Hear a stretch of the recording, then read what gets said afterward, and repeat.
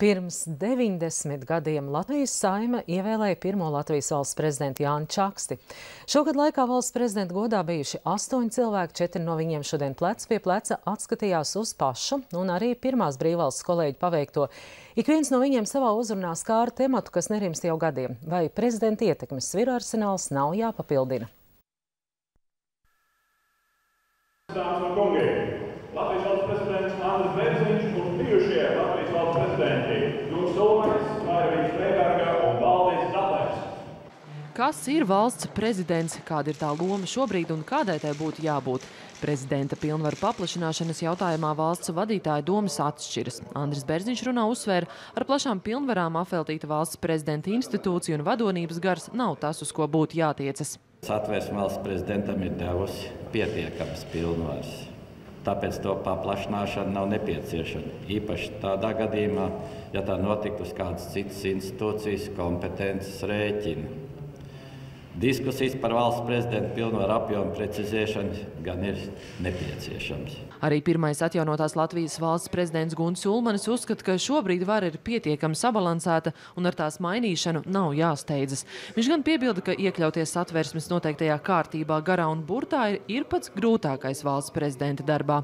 Tas, ka mēs kādreiz no šīm ilgcīm izkāpam ārā un rīkojamies vairāk sava saprāta vai sirdsapziņas vai kāda cita elementa vadīt, varbūt tas ir arī radījis šo iespējamo um, plašo diskusiju par uh, varas akcentu maiņu. Un, manuprāt, tas ir labi, ka šī diskusija ir notikusi, bet ir jābūt daudz smagākiem un pamatīgākiem argumentiem, lai šīs varas proporcijas mainītu.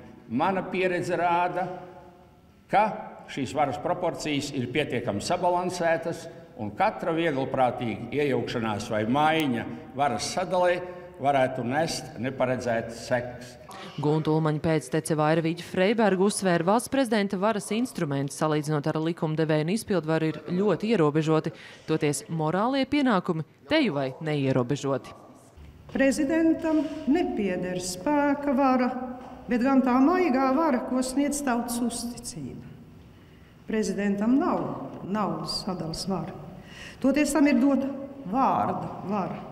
Un tā kopā ar domas spēku, drosmi un pārliecību var iedvesmot, aizraut un uzmundrināt tautu, vienmēr atgādinot, ka Latvijas diženos nekad nevar būt jebkuras vienas personas rokās, bet ka to jāveido visiem kopā.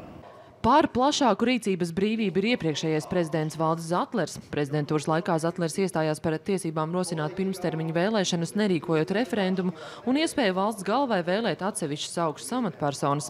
Arī tagad Zatlers uzskata, prezidenta ietekmei atsevišķos aspektos būtu jāpieaug. Šeit ļoti labi jau tika uzsvērts uh, varu līdzsvars, kas ir samērā optimāls. Bet, ja mēs paskatāmies uh, dzīves realitāti, uh, tad tomēr mēs varam ieviest jaunas nianses.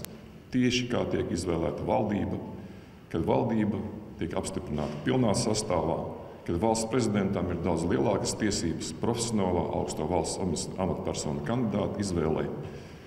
Tas ir ko praktiski jau vairāki prezidenti ir iemiesojuši neformālās tikšanās veidā Bet eh, es būtu daudz gandarītāks, ja tas būtu formāli fiksēts arī mūsu satversmē. Tikmēr satversmes tiesas priekšsēdētājs Gunārs Kūtris norāda, prezidenta pilnvaras kļūšas apjomīgākas tāpat nemainot likumus. Pēc Kūtra domām prezidenta amata saturs ir atkarīgs no prezidenta spējām satversmē noteikto pilnvaru ietvaru piepildīt, bet jo lielāku atbildību un uzticību prezidents iemanto valstī, jo lielāku rīcības brīvību viņam pieļauj sabiedrība. Laura Vondaigars Kavļevskis, Latvijas televīzija.